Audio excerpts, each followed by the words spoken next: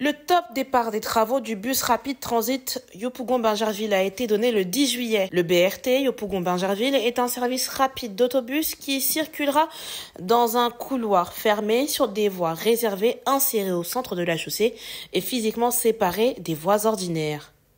La construction de la ligne 1 du métro d'Abidjan, les corridors du BRT en préparation, ainsi que le développement du transport lagunaire sont des exemples concrets de notre détermination à faire de la mobilité non plus un obstacle, mais une opportunité.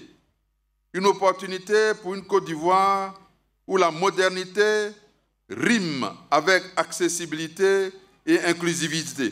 20 km de ligne officieront plus de 100 bus modernes articulés d'une capacité de 150 passagers chacun.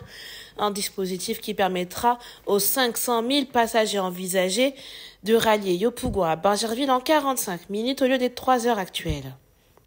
Nous assistons au début d'une véritable révolution dans le domaine de la mobilité urbaine en Côte d'Ivoire. Il s'agit de la promotion des systèmes de transport collectif en s'appuyant sur deux grands corridors structurants nord-sud et est-ouest, desservant de grands bassins de population dans les zones denses d'Abobo et de Yopougon, aux principaux pôles d'emploi du plateau, à Djamé et de la zone portuaire et industrielle au sud. Le projet est cofinancé à hauteur de 316,565 milliards de francs CFA par la Banque mondiale, l'Agence française de développement ainsi que le secteur privé. Plusieurs BRT ont été menés à bien en Afrique et dans le monde.